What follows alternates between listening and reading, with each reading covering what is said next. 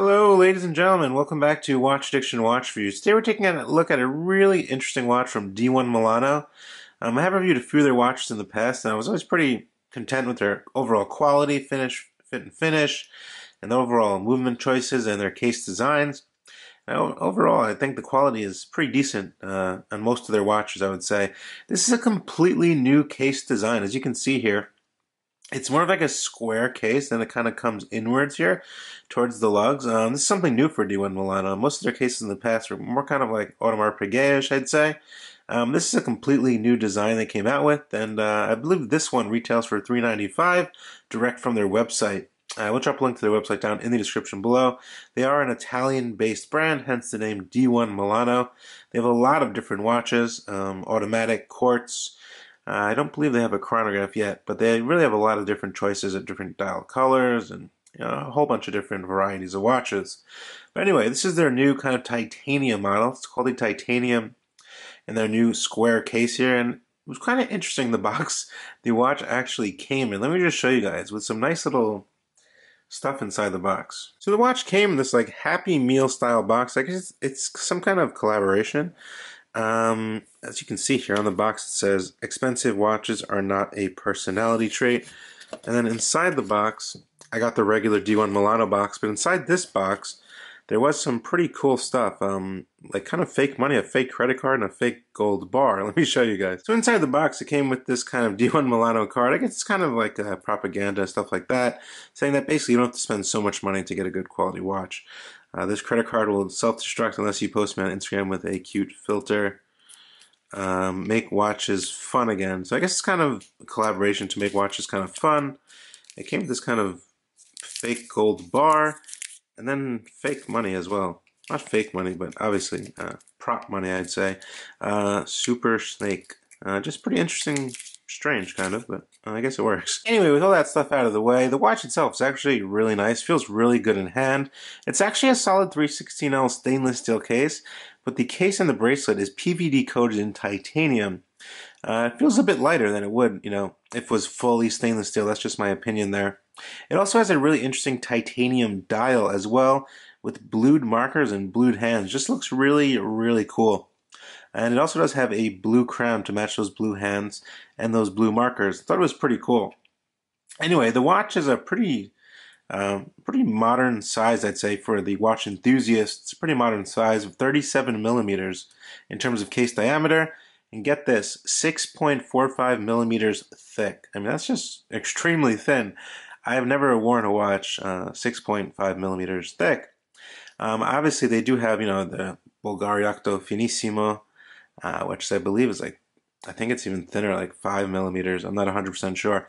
But anyway, um, 37 millimeter case here, 6.5 millimeters thick, uh, which is really nice. The dial itself is actually made of titanium, uh, solid titanium, this dial here. You get applied blue indices, you get a blue crown, and you get blued hands as well. Now, it's not heat treated blue, um, they are PVD coated blue. Just keep that in mind. You have a nice circular brushed finish on this dial. As you can see here, you have uh, lines going around the inner portion of the dial. Nice little design there. Then you have your minute markings as well. It's actually really legible. Um, if you really take a look at it, it's a very, very legible watch. It has a dateless uh, Japanese quartz movement. It also has a sapphire crystal as well, which I would expect at this price point. Uh, 50 meters water resistant. We get a pull and push crown, a screwed in case back. And the bracelet's actually really nice as well. It's an integrated bracelet, 110 grams complete. So it's really not that heavy of a watch, but you will feel it on the wrist. Now the movement inside of this watch is a Citizen Miyota uh, quartz movement. It's the 1L22. It's a very slim movement, hence why the watch is 6.5 millimeters thin there. Very nice. The bracelet is just as nice as any other D1 Milano watch. They do make very nice bracelets, very articulating, nice smooth uh, titanium PVD finishing which is the first I've seen from a brand do. Um, it's quite interesting. You get a butterfly clasper, which is signed with the D1 Milano. As you can see here, it opens up. Very nice clasp, very solid. Nice clicks as well, very audible clicks. Very nice, feels very secure. It is using push pins as well, uh, just keep that in mind. Now take a look at the back of the case back. You can see D1 Milano is written there, held down by four screws, 50 meters water resistant. Um, just keep that in mind. Definitely not one to take underwater. And I believe actually on this one you can actually change the band if you wanted to. As you can see, I believe you can. Uh, if you take this off, yeah, you definitely can change the band if you really wanted to. Um, but it looks great on this bracelet. It matches the case and has a really nice kind of just uh, casual look, I'd say. Uh, casual, smart dress look to it, uh, which is pretty cool. Uh, pretty easy movement to function, obviously. Two-handed movement. Crown, one position you pull out. You set the time here. Push it back down and you're good to go. There is no second subdial. Um, so yeah, other than that, I think it's pretty nice. The finishing is actually really good, very smooth, nice flat sapphire crystal, crystal keeping it very legible. No sharp edges on either side of the watch. And I really like their new design. Um, you know, their old design I did like as well. I kind of really like that kind of Gerald Genta design, you know, with the kind of AP style case. But this one's actually really different. Nice contouring lines coming around here, as you can see. Very sharp lines, good cut and good finish on this case. So uh, in the future, I'm assuming they'll make some automatic versions with this new square case, which is really cool. Uh, can't wait to see that. Anyway, um, I'm going to throw it on my 6.5 inch wrist, show you how these dimensions look, and uh, let's jump right into that. Now on my wrist today, I am wearing the Oceanica Mako. This is a dive watch, uh, $239 on their pre-order. It was funded on Kickstarter. And I believe you can still get one on Indiegogo. I believe they end Friday, the 21st of April on Indiegogo. So that will be the last chance to get one of these for $239. And in exchange of I believe they're selling retail for $319.99. Great, great quality watch. A lot of great specs for the money. I would definitely jump on this um, if you're into a, you know a pretty decent looking dive watch with great specifications. On my 6.5 inch wrist, the watch does look really classy. Keep in mind there is a light shining on this thing right now, and as you can see, that dial is still extremely legible with that sapphire crystal. Um, I'm assuming there is anti-reflective coating. It's not stated on their website, but I'm pretty sure there is anti-reflective coating, clear AR coating on this crystal because it definitely remains extremely legible. I think there is. Yeah, there definitely is AR coating on this crystal.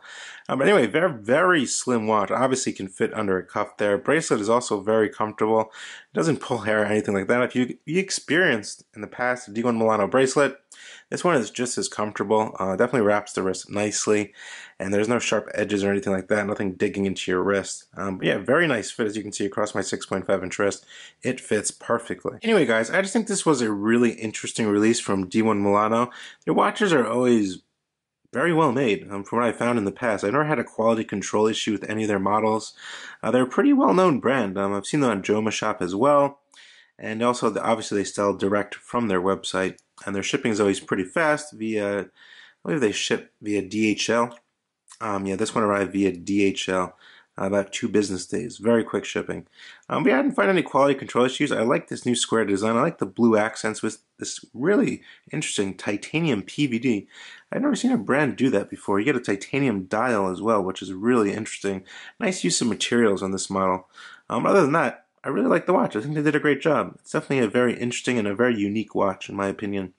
Let me know what you guys think of this watch down in the comment section below, as usual. This is Watch Addiction Watch Reviews coming at you with the D1 Milano, their new uh, square K shape, and their titanium model. I will drop a link down to them. This one retails at 395. Hopefully you can find a discount code on their website, which they do sometimes. Other than that, guys, definitely throw the video a like, share it with your friends, leave me a comment, and we'll chat more down below. A lot of interesting content coming up real soon. Definitely smash that subscribe button, and I'll see you on the next one. Bye.